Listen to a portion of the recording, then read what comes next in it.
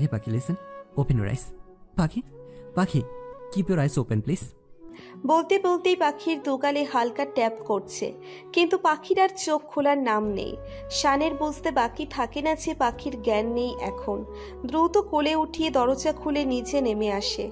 শানকে ওভাবে আসতে দেখে পাখির ভাই ভাবি বাবা মা সবাই বসা থেকে উঠে দাঁড়ায়। কি হয়েছে শান? পাখির কি হয়েছে? উদ্বিগ্ন চোখে প্রশ্ন করে পাখির দিকে। শান চুপ। বাবা ওকে কোথায় নিয়ে যাচ্ছ? কিছু তো বলো। এবার শান আর চুপ থাকতে পারেনি। রাগে বিস্ফোরিত চোখ সবার দিকে চোখ বুলিয়ে চোয়াল শক্ত করে ফেলে। আপনাদের কারোর সামান্য আইডিয়া আছে? ওর যত কত ডিগ্রিতে রেখেছে? কাট কাট গলায় প্রশ্ন করে শান। শানের কথা কেউ মানতে পারছে না। জ্বর কি হলো ওর তাও এত পরিমাণে?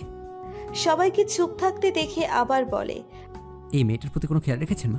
কেন ঘরে একা একা শুয়েছিল? এত অনীহা কেন এর প্রতি? আজ মনে হচ্ছে পাখির মাঝে যে একঘেমি বা একাকিত্ব তৈরি হয়েছিল তা আপনাদের জন্যই। আপনারাই ওর সঠিক যত্ন নেননি। বলেই শান সদর দরজা খুলে বাহিরে আসতে নিলে পরীর মা বলে ওঠে বাবা আমি যাই বাবা। ও মনে হয় বৃষ্টিতে ভিজেছে দুপুরবেলা। আমি ভেবেছি ওর রুমে আছে তাই আমি খুঁজতেও হোয়াট আপনি তো আমায় এটুকু জানাতে পারতেন। হোয়াট এভার আপনাদের কারোরও যাওয়ার দরকার নেই। I am enough for her শেষের কথাটা শান বিশ্বাসের সাথে বলেই সেই রাতেই রংপুর মেডিকেলে অ্যাডমিট করিয়ে দেয়। এদিকে মেয়ের এমন অবস্থার কথা শুনে আর শানের ব্যবহারে ধপ করে সোফায় বসে পড়ে বিলাপ শুরু করেন পাখির মা। বারবার মেয়ের কাছে সিটকে যেতে চাচ্ছিলেন তিনি। রাশেদা শান্ত হও। সত্যি তোমার মেয়ে তোমার জমাইয়ের জন্য যথেষ্ট। খুশির রেখা ঠোঁটে এড়িয়ে স্ত্রীকে শান্ত করছিল পাখির বাবা। আমরা কালকে যে কোনো সময় যাব। জ্বরটা কমে গেছে একদম তাই শান পাখিকে বাড়ি আনার জন্য রিলিজ করে দেয়। আমার দুইটা পা আছে আর আমি এখন পুরোপুরি সুস্থ। হেঁটেই গাড়ি অবধি যেতে পারব। শান পাখিকে কোলে করে নিতে চেয়েছিল আর পাখি অভিমান ভারাক্রান্ত কণ্ঠে কাট কাট হয়ে জবাব দেয়। পাখির মাঝে যে অভিমান জেগেছে ওই কথাই তার শান গুরুত্বের কাতারে রাখছে না। পাখির কথাই তোয়াক্কা না করেই দ্রুত কোলে তুলে নিয়ে বাহিরে গাড়ির দিকে হাঁটা দেয়। সকালবেলা হওয়ায় তেমন বাহিরের মানুষ নেই বললেই চলে। যা আছে সব হসপিটালের লোকজন। সবার নজর তাদের দিকে। পাখি সেসবে যেন লজ্জায় মরে যাচ্ছে। গায়ে মাথায় শক্ত করে কাপড় টেনে লজ্জায় কুকড়ে যাচ্ছে। এদিকে শান হন হন করে হেঁটে গাড়িতে বসিয়ে দিয়ে নিজে ড্রাইভিং সিটে বসে। বোমার কি হয়েছে, শান? আর কখন আসলো? হন্ততন্ত হয়ে শাশুড়িমা এগিয়ে এসে জিজ্ঞাসা করতেই পাখি কাছুমাছু সুর করে আর শান ডোন্ট কেয়ার ভাব নিয়ে নির্লিপ্ত চাহনিতে চেয়ে আছে পাখির দিকে। তবু নামানোর নাম নেই। কারোর সাথে টুস শব্দটি না করে হনহন করে সিঁড়ি দিয়ে নিচে ডুবে চলে যায়। পাখি ভালো করেই বুঝতে পেরেছে শানের রাগ উঠেছে। কি হলো? তখনকার কথার কোনো উত্তর নেই যে? কি করবেন সেটা বলেন। সেই অনুযায়ী তো আমায় ব্যাকপ্যাক করতে হবে। পাখির কথায় শান এবার রেগে যায় ভীষণ। এসে পাখির দুই বাহু চেপে ধরে। ব্যথায় কুকড়ে যায় পাখি। অভিমান কষ্টের দুফোটা জল গাল বেয়ে ঝরে পড়ে। শানের রাগ নিমেষে মিলিয়ে যায়। এক হাতে কোমর চড়িয়ে ধরে কাছে টেনে নেয়। আর এক হাতে কানের পিঠে চুল গুজে দেয়। এরপর শক্ত করে নিচের বুকের মাঝে জড়িয়ে ধরে পাখিকে। আপনি খুব খারাপ খুব পচা। ছাড়ুন আমায় ছোবেন না আমায়। বলতে বলতে কেঁদে ফেলে পাখি। শান আরও শক্ত করে জড়িয়ে ধরে। কেঁদে কেঁদে শানের বুকটা অনেকটা ভিজিয়ে দেয়। পাখিকে বুকে চড়িয়ে রাখতেই চোখ যায় টেবিলের ওপর রাখা ওই ঔষধগুলোর দিকে। যেটা নীরা দিয়েছিল। পনেরো দিন পর নিটা রেখেছিল আজ তো এক মাস হতে চলল। শিট কি করে ভুলে গেলাম আমি? ভাবতে ভাবতেই পাখিকে বুক থেকে সরিয়ে খাটে বসায়। রেস্ট করো। নিচের দরকার নেই। সুমি এসে খাবার দিয়ে যাবে। আমার ভালো লাগে না একা একা। বলতেই পাখির গলা ভারী হয়ে আসে। খুব মায়া লাগল শানের। কেমন যেন মানুষটা কেঁপে উঠ আমি দুপুর পরে চলে আসব। বলেই পাখির কপালে গালে চোখে অজস্র চুমু এঁকে দ্রুত ঘর থেকে বের হয়। আরে শান যে কাম কাম প্লিজ সিট। তোমার ওয়াইফ কোথায়? নিয়ে আসলে না আজ? ওকে নিয়ে আসিনি। পনেরো দিন পার হয়েছে। এখন যা বলার আমাকে বলো। ইমপ্রুভমেন্ট কীরকম? শান নীরার দিকে একবার চেয়ে বলে ওঠে। ভালো। আচ্ছা ও কি এখনও তোমায় আশেপাশে সহ্য করতে পারে? পারে। শানের কথা শুনে নীরার কেমন যেন মনে হলো। কিছু একটা ভেবে থতমত খেয়ে তাৎক্ষণিক জবাব দেয়। তাহলে এখন যেটা করতে হবে তা হলো ওকে তোমার অ্যাভয়েড করতে হবে। ভরিতা না করে বুঝে বলো। মানে ওর সাথে সামান্য একটু দূরত্ব মেনটেন করতে হবে তোমায়। প্লাস ওকে জেলাস ফিল করাতে হবে। আর ক্রেজি স্টুপিড আরে এটা করতে হবে তো। ট্রাই করে দেখো আরও ইমপ্রুভ হবে সবটা। যাকে দূরে রেখে আমি থাকতে পারি না তাকে কি করে দূরে রাখব আমি? আর অ্যাভয়েড ও অনেক কষ্ট পাবে। এতদিনে বুঝেছি ও খুব নরম মনের মেয়ে। এটা আমার দ্বারা পসিবল না। হ্যাঁ শান এটা করাটা জরুরি। মুখের সামনে তুড়ি বাঁচিয়ে বলে নীরা এটা আদৌ পসিবল না। আমি ওকে হার্ট করতে পারব না। যা ইমপ্রুভ হয়েছে হয়েছে। বাকিটা উপরওয়ালার হাতে। আমি মাসের পর মাস ওর জন্য ফেট করতে রাজি আছি। এত ভালোবেসেছ? এতটাই গভীর। টেবিলে রাখা শানের হাতের উপর হাত রেখে বলে ওঠে নীরা। হাতের দিকে এক পলক চেয়ে দ্রুত হাতে সরিয়ে দেয় শান। এক সময় এর থেকেও গরিবে ভালোবাসতাম কাউকে কিন্তু সেটার মূল্য আমি পাইনি। অপাত্রে দান করেছিলাম তো তাই। যার অন্তর আমাদের পূর্ণ ছিল না। বহুগামী ছিল সে। কখনো তার সন্তুষ্টি অর্জন করতে পারিনি। আর আমার বউকে সামান্য কয়েকটা গাছ উপহার দিই তার চোখের কোণে কৃতজ্ঞতা চল চল চল দেখেছি। বলতেই বলতেই শান উঠে দাঁড়ায়। দাঁড়াও শান। নিশ্চুপ সে। পাখি আমার পেশেন্ট ওর কোনো খারাপ আমার কাম্য নয়। এই ওয়েটা তোমার অবলম্বন করতে হবে। একটু দূরত্ব রাখতে হবে। ট্রাস্ট মি সবটা দ্রুত ঠিক হয়ে যাবে। সত্যি যদি পাখির ভালো চাইতে তবে ও রোগের কথাটা লিক করতে না। সো এসব বলে আওড়ানো বন্ধ করো। বলেই নীরার ভিসির টেবিলের উপর ছুঁড়ে ফেলে শান। কেবিন থেকে বের হয়ে যায়। আমি নিজেই তো কখনো ছাড়তে পারি না। তাহলে কি করে করব? ভাবতে ভাবতেই গাড়ির কাছে চলে আসে। হঠাৎ ফোন করে কল আসায় চমকে তাকাই ফোনের স্ক্রিনের দিকে। Yeah sir okay no problem okay I will come don't worry sir বলেই কলটা কেটে দেয়। সমস্ত কাজ সেরে বাড়ি ফিরতে ফিরতে রাত হয়ে যায়। রুমে ঢুকে দেখে পাখি ঘুমিয়ে আছে। গায়ে পাতলা চাদরটা টেনে পাখির কপালের দিকে হাত রেখে জ্বর অনুমানের চেষ্টা করে। শঙ্কাজনক অবস্থা না রাখতে পেরে স্বস্তির নিঃশ্বাস ফেলে। কপালে কয়েকটা চুমু এঁকে দিয়ে অপর পাশে শুয়ে পড়ে। পাখি রেডি হও। কোথায় যাব? লালমনিরহাট। পাখির ভিতর যেন দুমড়ে মুচড়ে যাচ্ছে। লোকটা কি সত্যি আমায় ছেড়ে দেবে? ভাবতে ভাবতেই কান্না চলে আসে। তবুও মুখে কোনো কথা না বলে দ্রুত রেডি হয়ে নেয়। পুরো রাস্তা কেউ কারোর সাথে তেমন কোনো কথা বলি না। পাখি শুধু বাহিরে চেয়েছিল আর বারবার চোখের জল লুকাবার বৃথা চেষ্টা করে যাচ্ছিল। একটা সময় গাড়ি এসে থামে পাখিদের গেটের সামনে। পাখিকে নামিয়ে দিয়ে শান দ্রুত গাড়ি টেনে চলে আসে কোনো কথা বলার সুযোগ না দিয়ে।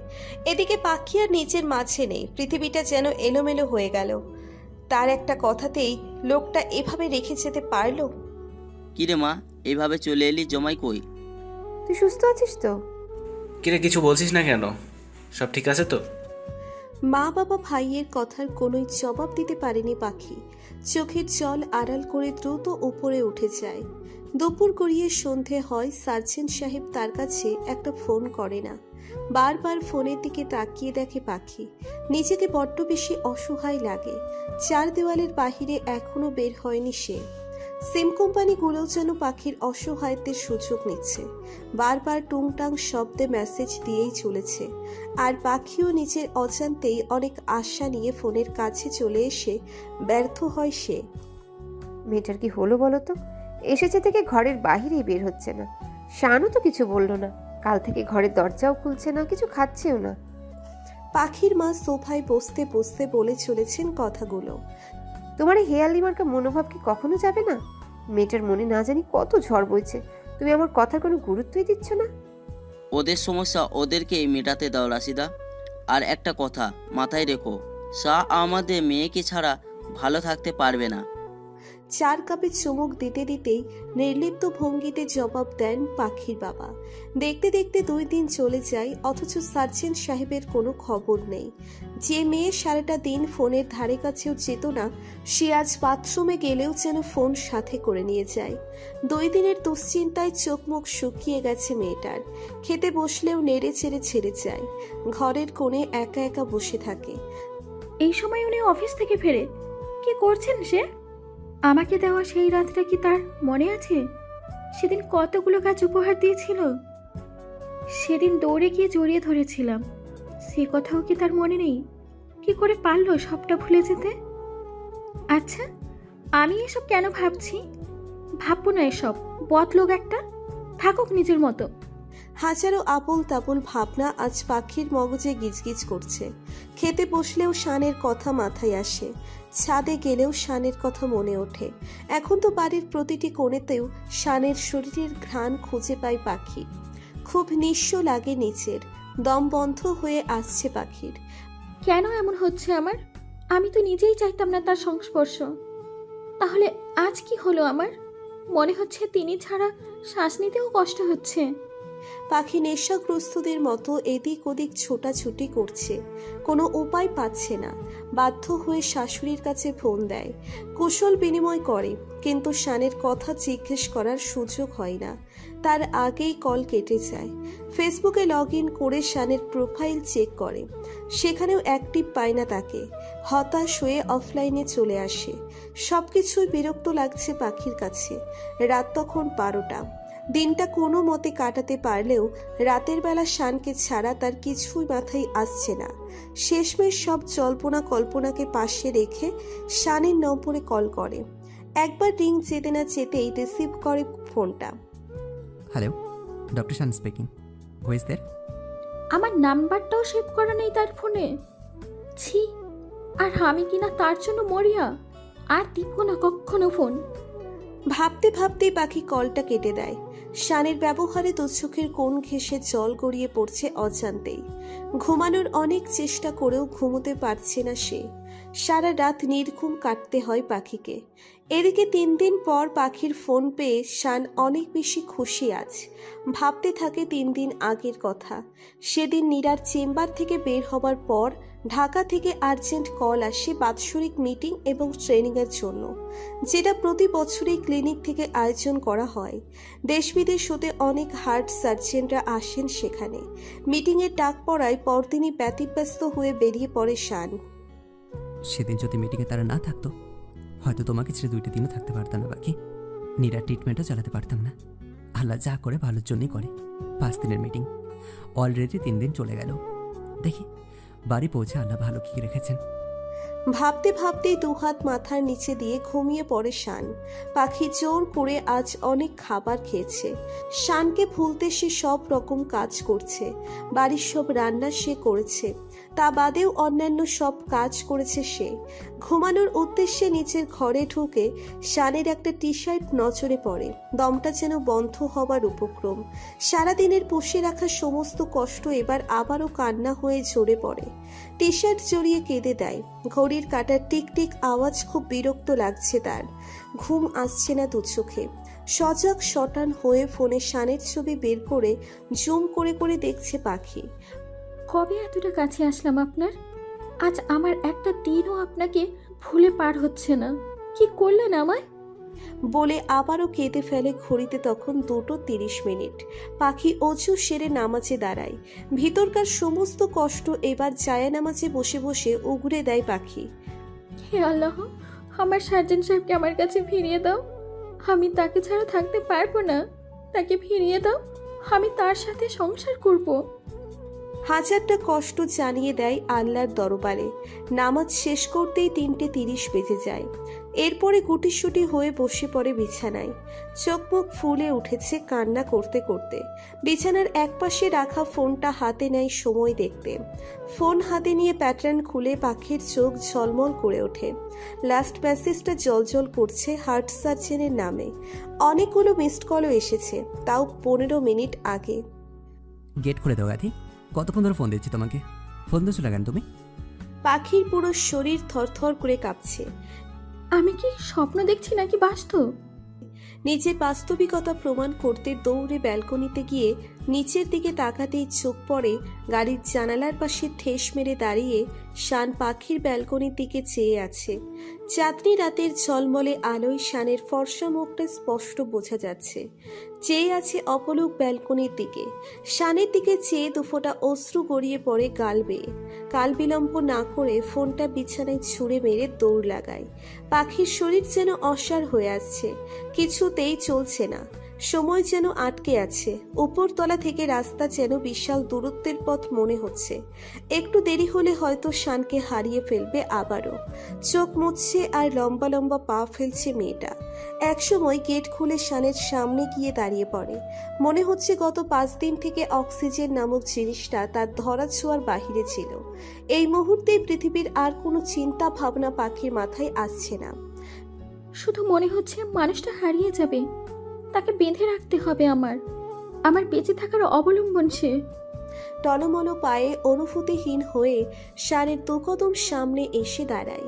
এদিকে পাখির অবস্থা দেখার পর শানের নিজের মাঝে বয়ে চলা ঝড় যেন জলোচ্ছ্বাস হয়ে চোখ দিয়ে বের হতে চাইছে। পুরো বাকরুদ্ধ আজ সে। পাখির নাচেহাল অবস্থা শানের ভিতর বাহিরে হাতুড়ি পেটাচ্ছে। শানকে পুরো অবাক করে দিয়ে পাখির নিচের পায়ের গোড়ালে ওচিয়ে জাপটে চড়িয়ে ধরে শানকে। গলার দুপাশে দুহাত রেখে শক্ত করে জড়িয়ে নেয় তার হার্ট সার্জেনকে। একটু ছেড়ে দিলেই বুঝি উড়াল দিবে তার ডাক্তার। পাখির অতর্কিত কাজে শান টাল সামলাতে গাড়ির জানালার নিচে বাম হাত ঠেস দিয়ে ধরে আর এক হাতে পাখির কোমর জড়িয়ে ধরে। কোনো কথা বের হচ্ছে দুজনের মুখ থেকে। শুনশান নিরাপত্তায় চেয়ে গেল শেষ রাত। থেকে থেকে পাখির হেঁচকি তুলে কান্নার শব্দ যেন কান ভারী করে তুলছে শানের। চোখ ভরে আসে তার। পাখিকে সান্ত্বনা দেবার মতো ভাষা খুঁজে পাচ্ছে না সে। পাখি এবার শানকে আরও অবাক করে দিয়ে শানের গলায় ঘাড়ে, কানে, গালে, নাকে সারা মুখে অজস্র চুমু এঁকে দেয়। মনে হচ্ছে কত বছরের হারানো সম্পদ সে খুঁজে পেয়েছে। পাখির এই অবস্থায় শান কি করবে বুঝে উঠতে পারে না। চারিদিক থেকে হঠাৎ আচানের ধ্বনি কানে আসে। এভাবে বাইরে দাঁড়িয়ে আদর করবা? না এই ঘরে ঢুকতে দিবা? আমার কিন্তু এবার ভয় করছে পাখি। কিসের ভয়? না না ভূতের না তোমার ভয়। তুমি রাস্তার ধারে যা শুরু করলে না কখন জানি কামড়ে খেয়ে ফেলো আমাকে। ফিক করে হেসে দেয় পাখি। তারপর দুজনে বাড়ির ভিতর ঢুকে পড়ে। দুজনেই অজু সেরে নামাজটা পড়ে নেয়। এরপর শানের বুকে মাথা রাখে পাখি। পৃথিবীর সব থেকে নিরাপদ স্থান এটাই মনে হচ্ছে তার কাছে। এতদিনের সমস্ত কষ্ট নির্ঘুম কাটানো প্রতিটা রাত সব যেন প্রশান্তির ঘুম হয়ে ধরা দিতে চাইছে তার কাছে। গভীর আবেশে চোখ বুজে ঘুমের দেশে তলিয়ে যায় পাখির চঞ্চল দুটো চোখ। আজ কতটা কাছে আছো? তবু তোমার প্রাণ ভরে কাছে টানতে পারছি না। এতগুলো দিন তোমাকে ছেড়ে ভালো ছিলাম শোনো পাখি। কিন্তু এটা যে করতেই হবে, তোমাকে যে একটু অ্যাভয়েড করতেই হবে আমাদের ফিউচারের জন্য। তোমার অসুস্থতা জড়িয়ে না থাকলে তোমার কষ্ট দেওয়ার কথা কোনোদিনও ভাবতাম না। জানি না আরও কতটা কষ্ট দিতে হবে তোমাকে। ভাবতে ভাবতে শান পাখির কপালের চুলগুলো এক হাতে সরিয়ে কপালে গাঢ় চুমু এঁকে দেয়। এরপর দু হাতে শক্ত করে নিজের মাঝে বেরিয়ে নেয়। এদিকে পরম আবেশের উষ্ণ পরশে বিড়াল ছানার মতো মেয়ে শানের বুকের মাঝে লুকিয়ে যায় পাখি। পাখি মা? দরজা কেন খুলছিস না? এত বেলা করে তো কখনো ঘুমাস না তুই। কি হলো বলবি তো? মায়ের ডাকে ঘুম ভেঙে চাই পাখির। চোখ যেন খুলতেই চাইছে না আজ। দুশ্চিন্তার স্পষ্ট ভাব মায়ের কণ্ঠে। মেয়ের মনটা কদিন ধরে খুব অন্যমনস্ক। এক্ষেত্রে মায়ের দুশ্চিন্তা হওয়া স্বাভাবিক কিছু নয়। এক্ষেত্রে মায়ের দুশ্চিন্তা হওয়া অস্বাভাবিক কিছু নয়। পিটপিট করে চোখ খুলে পাখি নিজেকে শানের বুকের মাঝে আবিষ্কার করে। আস্তে করে ঘুম সরানো কণ্ঠে পাখি মাকে জবাব দেয়। আসছি মা। যাতে শানের ঘুম ভেঙে না যায়। রাশিদা বেগম কিছুক্ষণ বিড়বিড় করে চলে যায়। পাখি মাথাটা তুলে শানের মুখের দিকে গভীরভাবে পর্যবেক্ষণ শুরু করে। কপালের উপর নেমে আসা চুলগুলো আলতো হাতে সরিয়ে দেয়। নাকের ডগাটা একটু আস্তে করে চিপে ধরে। এতে শান নড়ে চড়ে ওঠে, কিন্তু ঘুম ভাঙে না। পাখি মুখ টিপে হালকা হেসে আবারও শানের মুখে আঙ্গুল দিয়ে এটা সেটা পর্যবেক্ষণ করে। এরপর ধীরে ধীরে শানের ঠোঁট দুটোর উপর নিজের ডানের হাতের আঙ্গুলগুলো ছুঁয়ে দেয়। ঘুমের ঘোরে কেঁপে ওঠে শান। চোখ খুলে পাখিকে চেয়ে দেখে সে। আর পাখি লজ্জায় মুখ লুকিয়ে ফেলে শানের লোমস্য বুকে। শান আলতোভাবে পাখিকে সরিয়ে দিয়ে নিচে বিছানা ছেড়ে উঠে যায় আর মনে মনে বলে সরি চান পাখি আমি জানি। এই সকালটা কত মধুর হতে পারতো। হয়তো তুমিও তাই চেয়েছিলে কিন্তু আজ আমি ব্যর্থ। এরপর পাখির দিকে আর চোখে দেখে পাখির থমথমে মুখটা। শান দু একবার দেখে দ্রুত ওয়াশরুমে চলে যায়। ফ্রেশ হয়ে এসে ফোনটা হাতে নেয়।